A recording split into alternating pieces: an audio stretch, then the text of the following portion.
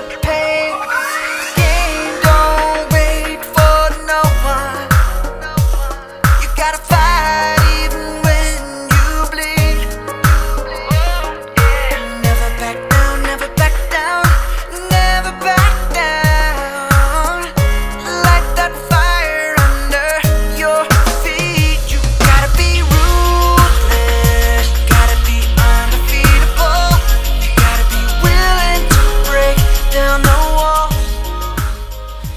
Alfredo Giacomini.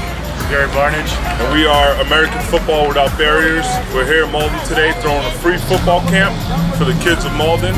Uh, we, we play football in the NFL and decided that we were going to give back to our communities that gave back to us. It's something that we're really passionate about. We're taking overseas. We've been to China, Brazil, Turkey, and Egypt. You know, our goal every every camp is just to take one kid's life and change it. And if we can inspire him to change his life and get on that right path and, and you know, go through school and, and listen to your role models, that's our goals.